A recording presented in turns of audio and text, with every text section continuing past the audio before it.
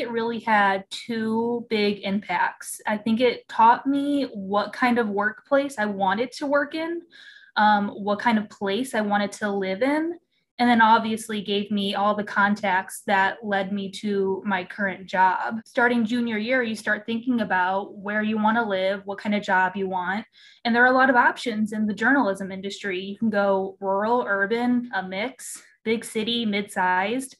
And, you know, this program gives you the opportunity to explore that big city journalism life without you know having to dedicate a few years to it if you don't really like it. And if you really like it then you're there and you can make the contacts.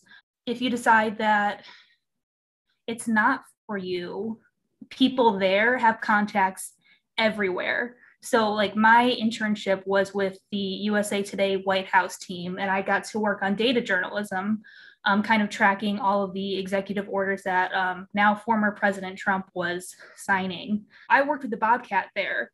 Um, and I don't think I would have been able to get that internship if it wasn't for his position at the USA Today White House team.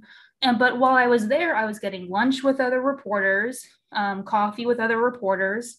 And for me, I decided I didn't want to work in DC long term. And I told them that. And they're like, okay, like let's set you up with other contacts in USA Today. And then I got my first job in Staunton, Virginia, which is a Gannett paper. And now I'm at the Cincinnati Enquirer, which is also a Gannett paper. And it's funny, um, while I was in DC, um, the world's editor for USA Today um, was Beryl Love, and now he's the executive editor of the Enquirer. So I already knew him when I got my job here.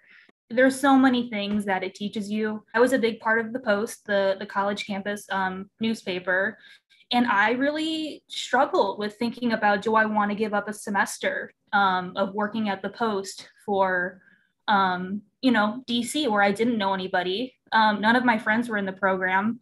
Um, but um, my academic advisor, um, Amy Edmondson, was like, go to DC. Like, you know, it's invaluable. Um, Athens will always be there. Your friends will always be there. It's just, you know, take the chance. You know, you go to college to develop this career in journalism, and not everybody has this opportunity, and Scripps just makes it so easy. So d- just do it. I don't think you'll regret it. And Athens and your friends will always be there.